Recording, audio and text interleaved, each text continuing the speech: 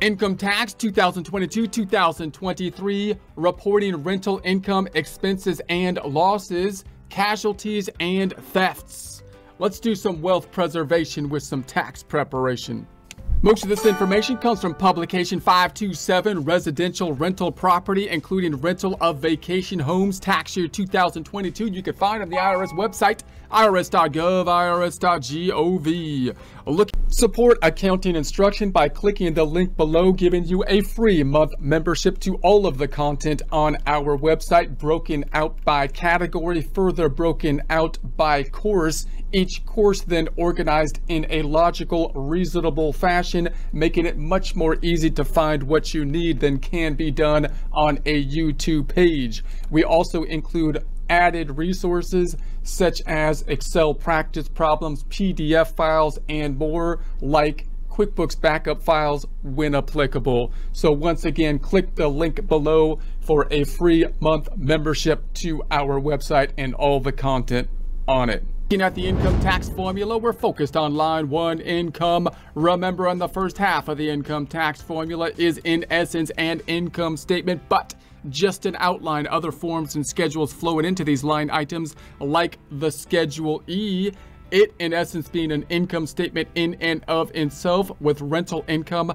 minus rental expenses, the net rental income in essence rolling into line one income of the income tax formula casualties, and thefts. Now remember that in prior presentations, we discussed the concept that rental income, although it's similar in nature to other types of business income in that we, in essence, will have an income statement, rental income minus rental expenses, is not reported on the Schedule C, the form often used for other sole proprietor type businesses, but rather reported on a Schedule E, in part because it might be subject to other kind of rules such as passive activity rules, limiting losses, and because you might not be subject to the self-employment tax as you are with other sole proprietor type of businesses reported on the Schedule C. Now, the idea with the losses is what we're really kind of focused in on when we're going to the Schedule E with the rental property, remembering that the IRS is okay if you have income, that's fine. They just want a piece of it but it's quite likely oftentimes that people run losses with the rental property. Remember that if it was a, a business, a Schedule C business, it would be natural to have losses in the first couple years, and it, would seem reasonable to be able to take those losses against other income because those are basically the investments. Later years, when you start generating income, it was those losses that you invested in order to help you to generate the income. So you would think you would get a tax benefit from it. When we move over to the rental side of things, however, we have this added component of it being passive in nature. You're not as actively participating, and you've got the rental property itself, which might be going up in value and having a, a capital gain that you're not going to realize until the point that you sell the property. So you can imagine situations where people are quite content to run losses with the rental property as long as they can take them against other income and hope that the rental property itself accumulates upward in terms of capital gain so that they could sell it at some future point, enabling them to take losses against other income and then kind of sell the rental property. So you have a bit of a different scenario and you can see why then that's kind of the rationale of why you might limit the losses with passive activity losses we discussed the back and forth with the losses. I would imagine like the IRS arguing with different people that own real estate, right? They're going to say, "Hey, the IRS is saying you're taking advantage of losses. I'm to I'm to make it all passive and not allow you to have any losses." And then some people say, "Hey, I'm a real estate professional. I'm not a billionaire or anything. I'm I should be able to take losses like any other type of business because this is my business." And so you could see them carve out possibly an exception for that. And then you can imagine someone else saying, well, I'm not a real estate professional, but I do a lot of work in my real estate property. I'm not just a billionaire sitting around just collecting rent. I do do actively participate, so they carve out, you know, 25,000 if your AGI is under a certain threshold of losses that you might be able to take and so on. And then you've got casualty and theft losses, which you would think would be a different kind of scenario given the fact that these aren't just normal losses that you're taking, they're resulting from casualty, and theft. Okay, so that's where we're at now. So as a result of casualty or theft, you may have a loss related to your rental property. Uh, you may be able to deduct the loss on your income tax return. Casualty. This is the damage, destruction, or loss of property resulting from an identifiable event that is sudden, unexpected, or unusual. So here's the key terms. It's it's a casualty. It was it was sudden, so something of course happened out of the blue. Unexpected, so obviously if you could expect it, then you would plan for it, hopefully, and, or unusual. Not something that would typically be happening. Otherwise, you would be taking it into consideration and it wouldn't be like a, a casualty. So such events include storms, fire, or earthquake. So theft so this is defined as the unlawful taking and removing of your money or property with the intent to deprive you of it. So obviously theft is pretty straightforward, but with all the looting and stuff that goes on these days, I think people actually forgot what theft actually is. So maybe you have to re- theft is defined as the unlawful taking and removing uh, of your money or property with the intent to deprive you of it. You know, so there it is in case we've forgotten as a society what theft is gain from casualty or theft. So it is also possible to have a gain from a casualty or theft if you receive money, including insurance, that is more than your adjusted basis in the property.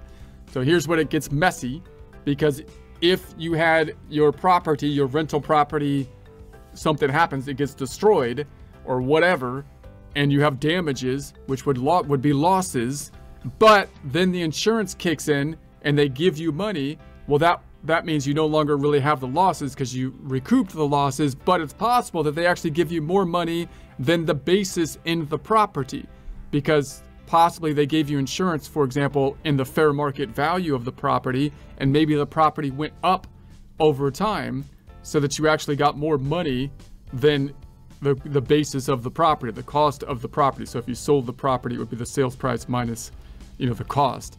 So uh, generally, you must report this gain. However, under certain circumstances, you may defer paying tax by choosing to postpone reporting the gain. To do this, you must generally buy replacement property within two years after the close of the first tax year in which any part of your gain is realized. So you can you can imagine this situation, right? So like I had a I had a house that I was renting. I paid a hundred thousand dollars for it uh, or, or, whatever my basis is is a hundred thousand dollars, but the actual house, my depreci- my depreciated basis is a the actual house went up to two hundred thousand dollars, and now the house you know went burned down or whatever, and then I got paid by the insurance company. They paid me something closer to 200,000. Anything over 100,000, even though the 200 was my fair market value, is more than my adjusted basis in the property. If I was to sell it for 200,000, the fair market value, I would have had a $100,000 gain. So now I was involuntary. This wasn't a voluntary choice to sell the property. It was destroyed. And then I'm given the insurance and it kind of acts like a sale and then I have to realize the gain at that point. Well, what if I don't want to realize the gain? I wasn't planning on selling the property. Then you could think, well, it would seem reasonable then that if you buy similar property, uh, then maybe you could, maybe you can have a situation where you don't take the gain uh, at that point in time, but you would have to then adjust the basis so that so that when you do sell the property, you realize the gain at the point you sell the property. So to do this, you must generally be uh, replacing property within two years after the close of the first tax year in which any part of your gain is realized. So in certain circumstances, the replacement period can be can be greater than two years. You can see replacement period in publication 547 for more information. The cost of the replacement property must be equal to or more than the net insurance or other payment you've received. More information, for more information on business and non-business casualty and theft losses, you can see publication 547. How to report. If you had a casualty or theft that involved property used in your rental activity, figure the net gain or loss in section B of form 4684 casualty and thefts. Follow the instructions for form 4684 uh, for where to carry your net gain or loss. Example, so in February 2017, Mary bought a rental house for $135,000, house $120,000 and land $15,000. and immediately began renting it out. In 2022, she rented it 12 months for a monthly rental fee of $1,125. In addition to her rental income of 13,500, which is the 1,125 times 12 months, Mary had the following expenses mortgage interest 8000 fire insurance 250 miscellaneous repairs for 400 real estate taxes imposed and paid 500 maintenance 200 mary depreciates uh, the residential rental property under MACRS GDS, the standard depreciation method for the property. This means using the straight line method over a recovery period of 27.5 years. She uses table 2-2D to figure her depreciation percent. Because she placed the property in service in February 2017, she continues to use that row of table 2-2D for year six, the rate is, so that's the depreciation on it using the table method. Mary figures her net rental income or loss for the house as follows.